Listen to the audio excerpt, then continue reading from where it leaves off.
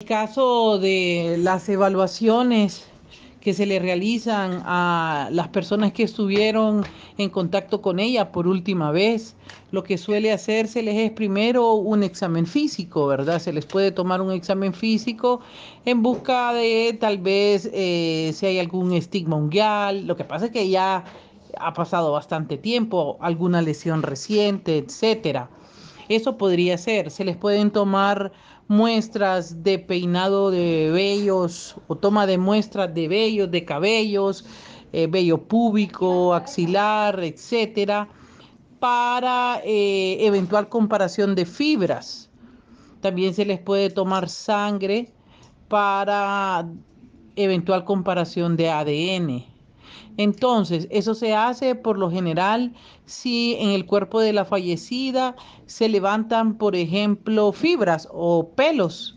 Podrían ser, eh, se pueden encontrar en sus ropas, se pueden encontrar en el área genital. A veces encontramos eh, este tipo de fibras o folículos pilosos o pelos, pues, y estos pueden ser ah, que no sean de la, de la, de la misma, del mismo cadáver, de la, mismo, de la misma oxisa. Entonces, ese examen lo hace biología forense.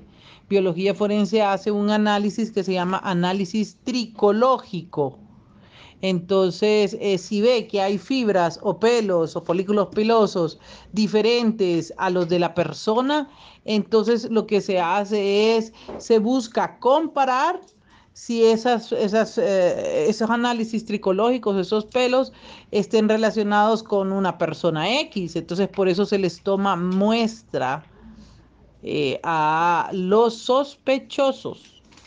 En el caso de que fuesen eh, similares comparativamente al ver el bulbo del pelo, la raíz, la cutícula, en fin, las características de ese examen de análisis tricológico, se puede hacer ADN al bulbo del pelo y buscar y comparar material de ADN que se saca del bulbo del pelo, pero bueno. Entonces imagino que si a las personas estas las están eh, llamando medicina forense es porque les van a hacer un análisis tricológico. Un examen físico se les hace también, se les toman muestras. Entonces seguramente pienso yo que en el cuerpo de la joven eh, encontraron algunos ah, pelos que no son de ella y quieren comparar a ver si no son similares a los de los sospechosos. Se toman muestras eh, del vello púbico, axilar, se toman muestras de todos los cabellos que hay. Eh, se toman muestras corporales, de cabeza, etcétera y luego esos pelos o esos folículos se someten a un análisis comparativo con lo que se haya encontrado en el cuerpo de la paciente, de la oxisa. Bueno, mire, la autopsia es clara, o sea, en la autopsia eh, se evidenció que se trata de una muerte bajo custodia violenta de naturaleza homicida, eso está claro. Eh, la causa eh, básica de muerte es una asfixia mecánica y fácilmente se deduce que es un estrangulamiento con los hallazgos que se ven en el cuerpo. Por otro lado, es importante descartar otras cosas que ya son más complejas y se buscan.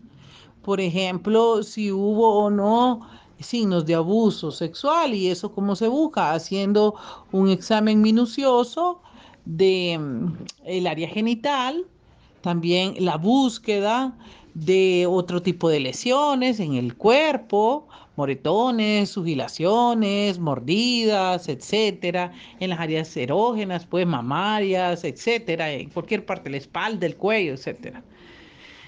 Igualmente, el elemento vinculante que puede buscarse es la presencia o no de componentes del semen. ¿Eso cómo se busca? Pues el semen se busca a través de exámenes eh, eh, inmunomicrobiológicos. Uno puede buscar los espermatozoides o haciendo pruebas eh, microbiológicas, químicas, con reactivos especiales. Se busca la fosfatasa ácida, la presencia de líquido prostático, etcétera, y la presencia de espermatozoides. Igualmente, si eso no se encuentra, tampoco lo descarta porque pudieron haberse puesto un condón y no, no eyacular, pero siempre se busca. Por el otro lado, otro elemento vinculante que podría ser de utilidad es buscar fibras, es decir, hacer un análisis tricológico, es decir, buscarle fibras a ella en el cuerpo, es decir, pelos extraños que no sean de ella, porque cuando usted hace un análisis y hace un análisis del cuerpo, eh, biología forense es experta en buscar pelos. Si usted ha tenido, por ejemplo, una relación sexual reciente o un contacto sexual por el principio de Lockhart, de transferencia, perfectamente el agresor pudo haberle dejado un pelo de él, un pelo púbico, un pelo axilar, un pelo del pecho de la cabeza. Entonces, si en el cuerpo de ella se encontraron pelos o fibras o folículos pilosos, entonces lo que procede de inmediato sería es a tomar muestras de los probables agresores. Entonces se llevan a la clínica forense y se les toman muestras de todos los pelos de la cabeza, de la axila, del cuerpo o de la área genital para comparar con lo que tienen. En el caso de que haya elementos comparativos coincidentes, entonces se puede hacer inclusive búsqueda del ya del ADN del pelo del agresor o del pelo que se encontró en la, en la fallecida. Entonces el tema para vincular abuso también eh, o contacto sexual reciente pasa por eso. El análisis del área genital, etcétera, buscando laceraciones, rupturas, hemorragias, forcejeos y todo eso también eh, se hace con el examen físico. Entonces, por eso no es fácil decir si sí o no, ese examen no se concluye así de fácil.